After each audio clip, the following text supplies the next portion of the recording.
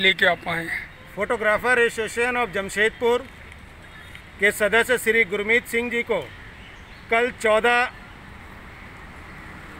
जुलाई। 2020 को रात को 11 बजे कुछ अज्ञात वासियों ने उन्हें गोली मारा कुछ अपराधियों ने उन्हें गोली मारा जिसका फोटोग्राफर एसोसिएशन ऑफ़ जमशेदपुर कड़ी रूप से निंदा करती है। हम सभी फोटोग्राफर भाई उनके परिवार के साथ हैं उनके साथ हैं।